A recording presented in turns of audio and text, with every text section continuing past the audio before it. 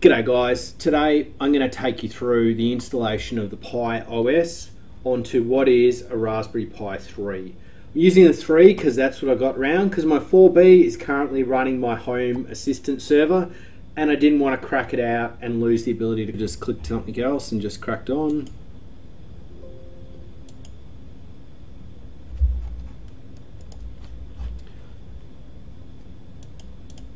And what the Pi is going to do now is go through some very, very basic setup stuff.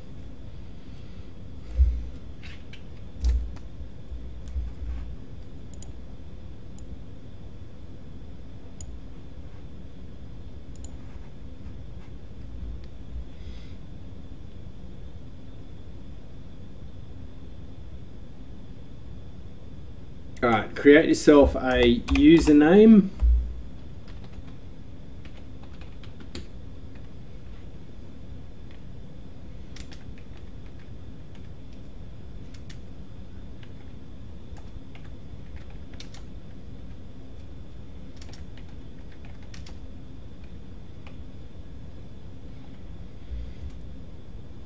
Just note that your username needs to start with a small letter. Um, my screen looks alright in this case, so I'm not going to change it. Next bit is it's going to want to connect to Wi-Fi, which I'm going to do.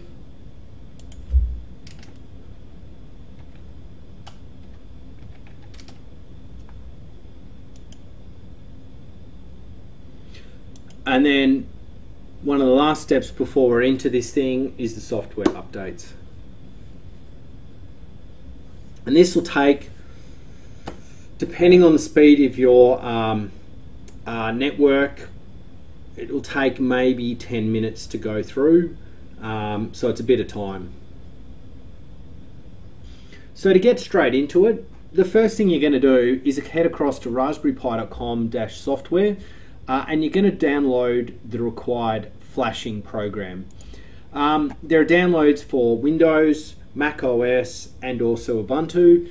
Uh, but I don't know why anyone would be using a Raspberry Pi with Mac because yuck. Alright, so once we've downloaded that, just install that program. I'm not going to make you watch that because that's about as fun as much watching paint dry, which I generally try to leave to the weekends. Right, so cracking straight into it, um, what you're going to do is you're going to install an SD card into a card reader. Uh, and once you've done that, come across to the program which should open. You want to select the Pi OS. It's going to be 32-bit.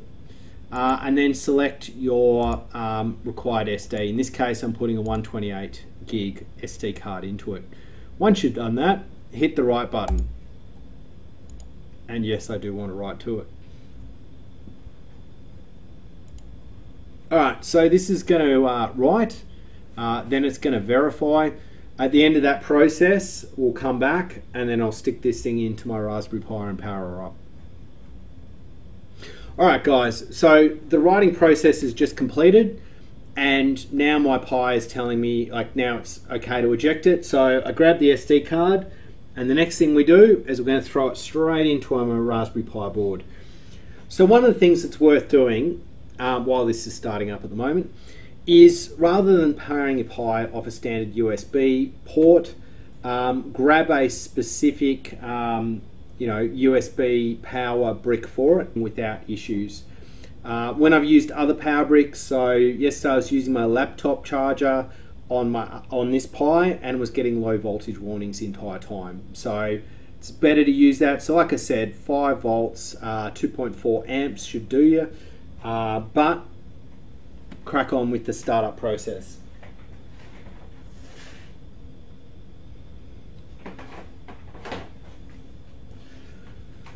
Right, so we've got into the first bit. So one of the things you're going to need to do to this at this stage is connect yourself up a standard good old fashioned mouse and keyboard to crack on with the next bits.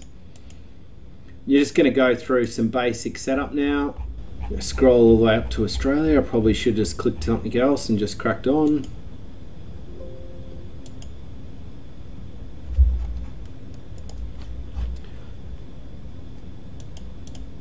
And what the Pi is going to do now is go through some very, very basic setup stuff.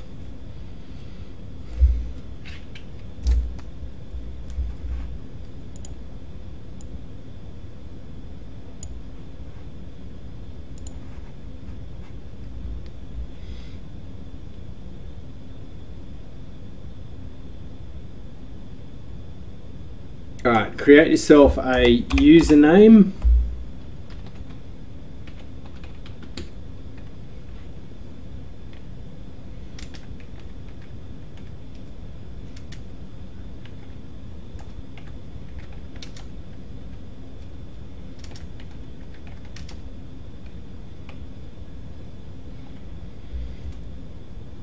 Just note that your username needs to start with a small letter. Um, my screen looks alright in this case, so I'm not going to change it. Next bit is it's going to want to connect to Wi-Fi, which I'm going to do.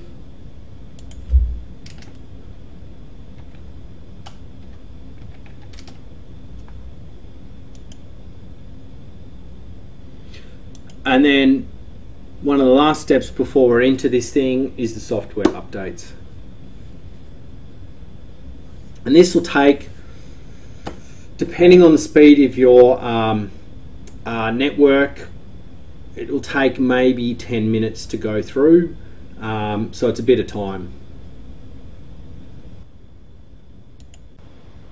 Okay guys, now that we're back into the Pi and it started back up again, what I do is run through what is my standard test to make sure things are working okay which is to load a speed test of the internet system. So just load up the internet page. This is Chromium, this little ball up the top. Um, load up Google and then search for just speed test.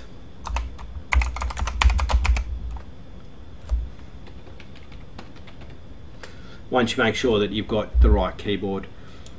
Now, don't expect this to be blisteringly fast, given you're running it on a Pi and also over a um, Wi-Fi uh, network.